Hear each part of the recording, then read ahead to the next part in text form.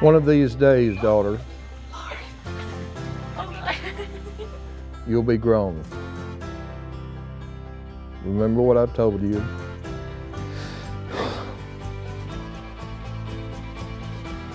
And pass it on.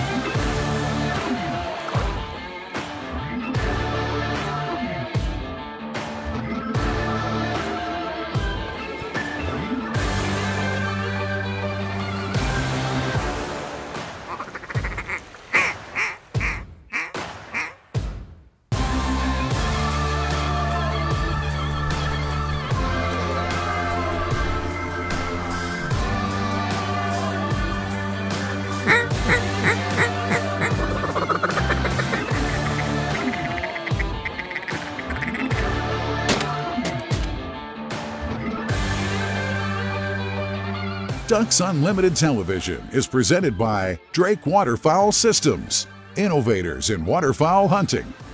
Hello and welcome to another episode of Ducks Unlimited TV. I'm Ashley Ward. Hunting is a tradition in my family. My dad was instrumental in involving me in that tradition, teaching me that hunting is a treasured experience. Life lessons were learned and it gave us a chance to spend more time together. On this episode, we share a blind in Arkansas with our longtime friends and hunting partners, another father-daughter duo, Lauren and David Stanley. We reminisce about hunts past and look forward to more adventures in the future. All next on DUTV.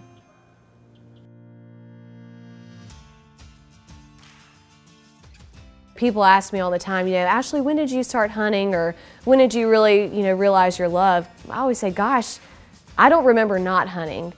Well, the Ward family consists of my wife Karen and my daughter Ashley. Only child. Son and daughter. Let's let's just go ahead and clarify that now. She's she's been the son I haven't had and the daughter I wanted. The first hunt I ever took Ashley on was a September dove hunt, 1990. She was born June 1990. And I had come in from working around the, the house and Karen says, Mom and I are going shopping. You're going to babysit this afternoon. No problem. So I loaded up the little car seat. I loaded up the little carrier. Loaded up the dog. I loaded up all the equipment and we went to the dove field in Wiggins, Mississippi. We hunted all afternoon. The dog sat and babysitted Ashley. I had her far enough away that the gun wasn't bothering her and had her covered up with a little camo mosquito screen. And we spent the afternoon together in the dove field. And that was officially her first hunt. When we got home, that was before the cell phone craze and nobody knew where Ashley and I was at. And when I walked in the back door of the house, there sat the grandparents and my wife, and all of them were pretty hot. I've been incredibly in awe of, of wing shooting since a little girl. Dove hunting sent her to competitive shooting because buying shells and feeding her shotgun, because she never was shy about pulling the trigger. That led to also shooting in the sporting clay competition, the NSCA competition. So she's, she's been on both sides of 4-H plus competitive shooting and she took the shotgun discipline and took ownership of that and became uh, one of two girls on the Waynesboro, Mississippi team to go to Nebraska to the Nationals. It's, uh, it's pretty amazing to watch the two girls go into the field and they can hold their own with pretty much any man in the in the blind or in the dove field or in a deer stand. Now when we go to the dove field, I go in the opposite direction that she goes. I like to enjoy the afternoon and I like to shoot the birds and not watch them fall before they get to me. Ducks Unlimited Television is presented by Drake Waterfowl Systems, innovators in waterfowl hunting.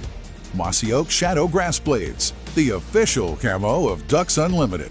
Browning Firearms, the best there is. And by Ducks Unlimited's Ducks Expo at Texas Motor Speedway, celebrating everything outdoors. You had the lens on. Well, I know I've got the lens cover on. I can love you better than that. I know how to make you forget her. Sound like the beach fly. All I'm asking is for one little chance. Baby, I can love you, baby, I can love you better. Tell me about their personality.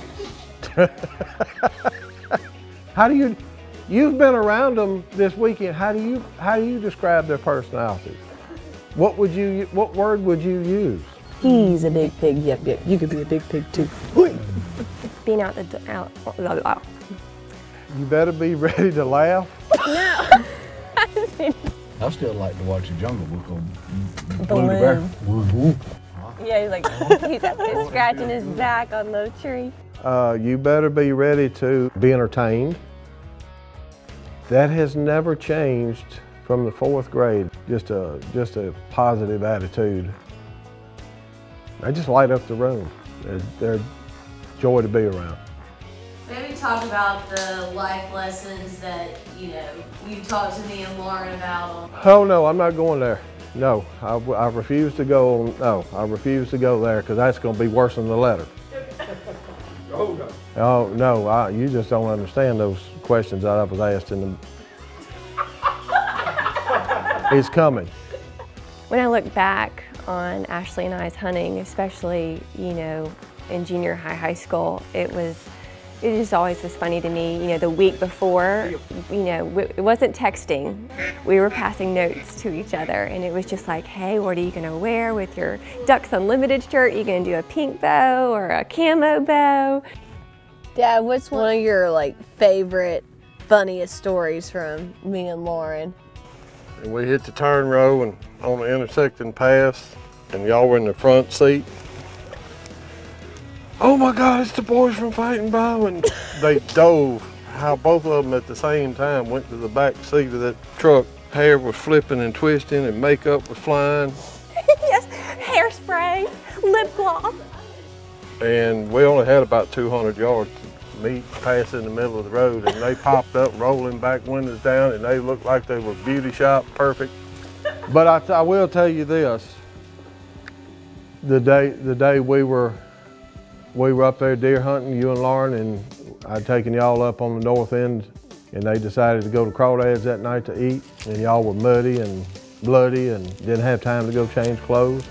This is where Ashley and Lauren kind of separated from, from the other girls.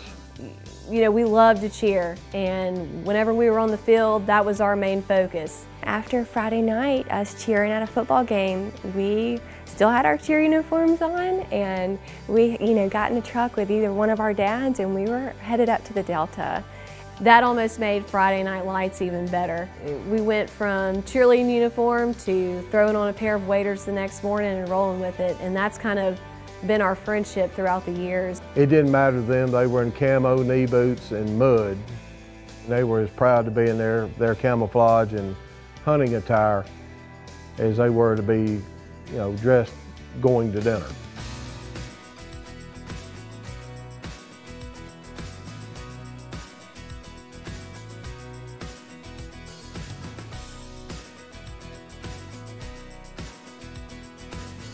Ducks Unlimited has long been committed to youth involvement in conservation. Our Green Wing program allows children 11 and under to become a part of the DU family. Green Wing members number over 45,000, and that number grows every year. Green Wings are introduced and encouraged to participate in the restoration, conservation, and management of wetlands and other habitats.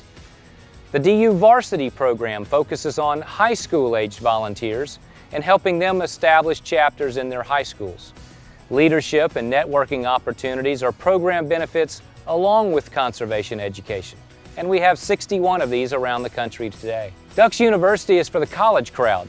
At more than 100 colleges and universities across America, young people are embracing Ducks Unlimited's mission by creating and building chapters, providing significant support for wetlands management.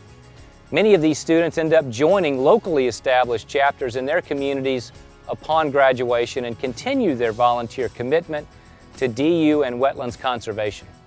This is the future of DU, and we're in good hands with these outstanding young people. You can find out more about DU's youth programs and how you can help at ducks.org.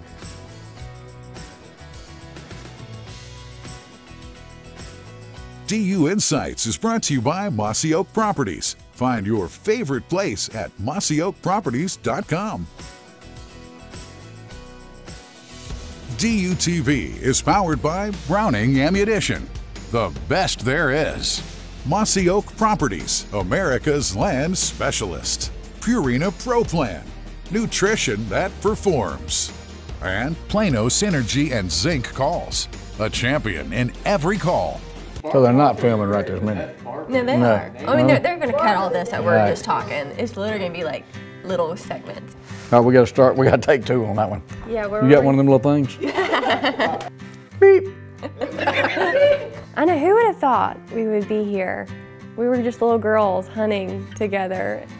I saw five deer where I went, and I saw two babies and three does.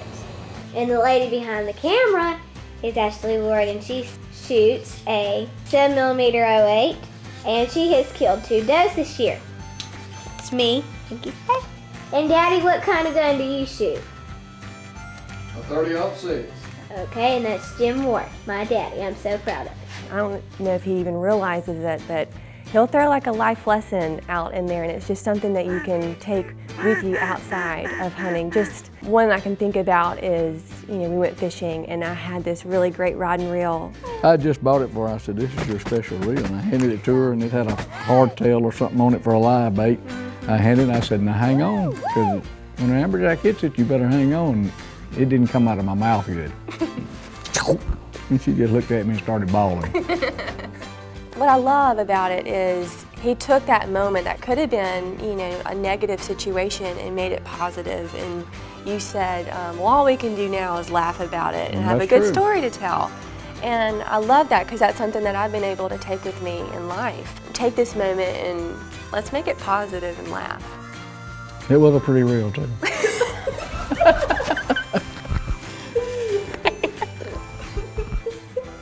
You've always made hunting fun, and that's what I've always loved about that. Is it's always been enjoyable.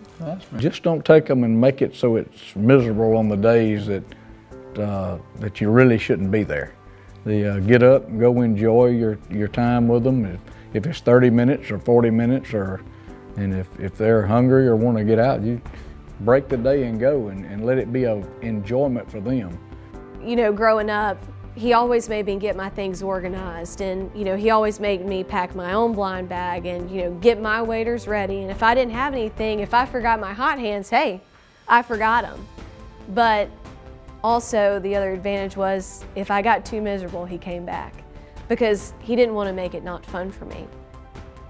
Honestly, everybody said, oh, that's wonderful. She's, she's doing the outdoors and going with you. But when she gets to junior high and the boys, that will come to an end and we will no longer have the father-daughter relationship.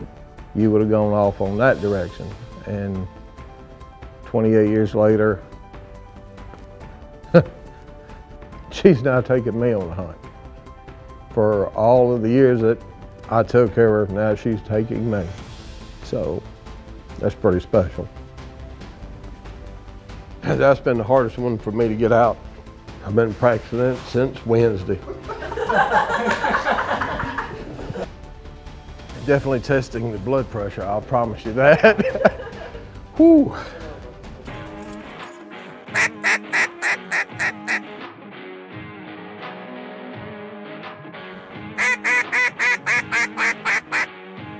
On this hunt here in Arkansas with Ashley and her father, it's a great opportunity to take the time um, to learn how to duck call, teach someone how to duck call. You know, I grew up uh, taking my, my children hunting, their, their friends hunting, and had a lot of novice hunters and callers in the blind. I've always tried to take opportunity to teach them how to blow calls. You know, being a part of the hunt is probably the most important part uh, of waterfowl hunting. It's very camaraderie, two, three, four, five, ten people in a duck blind. It's a very social sport. But getting a young hunter or a novice hunter involved in the, in the whole duck hunting aspect is really, really important. Now, the two calls that I'd recommend get them started with is number one, I'd get an easy blowing double reed duck call, just like this Zink ATM. Soft blowing, not much air pressure, very hard to squeal, and very hard to stick as well. Uh, we'll talk a little bit about this call. The basis of any duck calling would be the simple quack. Okay, you teach the hunter uh, or the young caller to do the basic quack, and then you string it together. You do three to five quacks together. Speed that up. A little faster. A little faster yet. So use that time in a duck blind to your advantage. The other thing to get them started on is just a simple Drake whistle, like this one right here. Now here, you just makes a great mallard dweeb. Very simple to, to teach a young hunter, and they can be involved doing this, working the dog, and be a big part of the hunt.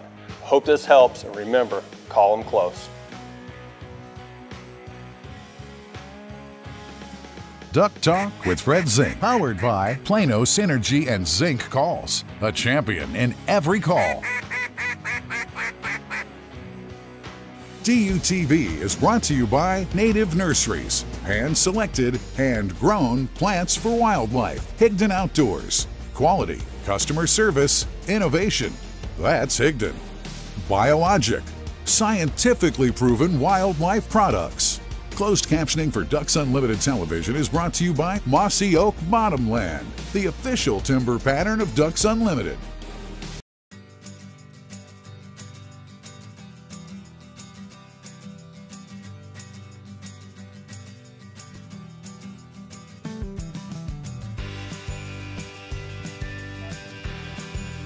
There are several training tips to get multiple dogs to recover multiple birds simultaneously on water. We call it double dog.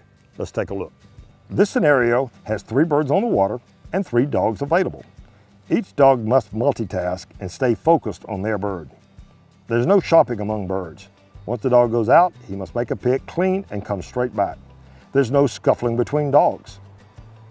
Dogs stay on their intended bird and ignore the other dogs. One of the keys is release the dog only on his name, otherwise the dog remains steady.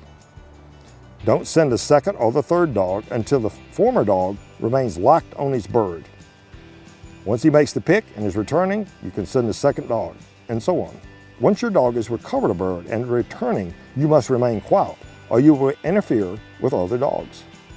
Double dog is great for rapid game recovery, and it's good for group work training as well. Give it a try. Duck Dog with Mike Stewart is presented by Purina Pro Plan, nutrition that performs.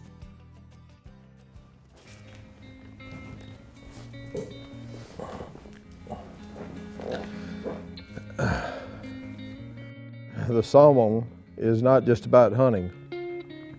It's about the relationships between a father and a daughter.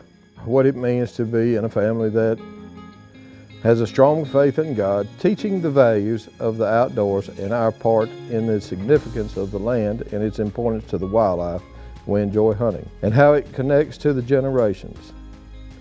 Take a child into the outdoors also builds a solid base for many of the life lessons to come. My dad, he's such a moment person as well. And I totally get that from him. And I'm so glad that I do. Every hunt that we went on had a lesson. He always made me stop and look at a sunrise. We were never in a hurry. The importance of the conservation is to protect what we have now and protect it for the future, for the generations of children coming on, so they can enjoy what we grew up enjoying. If we can't or we don't do that, then we can't pass it on. As I've always told you, the hunt is to enjoy the trip, enjoy the fellowship, enjoy the hunt. Pulling the trigger has always been the bonus. To sum it up, That's easy. Pass it on.